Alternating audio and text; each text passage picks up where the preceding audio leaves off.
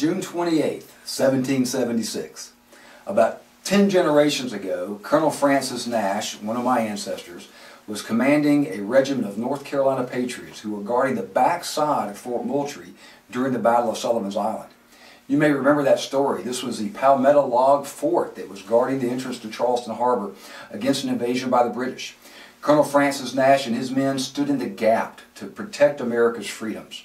And the, when the word of that, what was really one of the first Continental victories, when the word of that victory got to Philadelphia, the Second Continental Congress was in session and they were encouraged by that news, so much so that they signed the Declaration of Independence just a few days later on July 4, 1776, to once again declare the causes for our separation and declare these unalienable rights that governments are there to protect.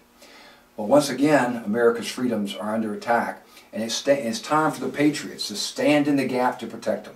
So I'm asking you to stand with me. I'm asking you to vote for me during the primary on Tuesday, March 19th, and also in the runoff on April 2nd.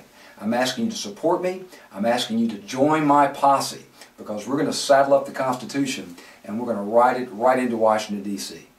I'm Sheriff Ray Nash, and I approve this message because it's time to take our country back and to secure the blessings of liberty for ourselves and our posterity, and to send a sheriff to Congress.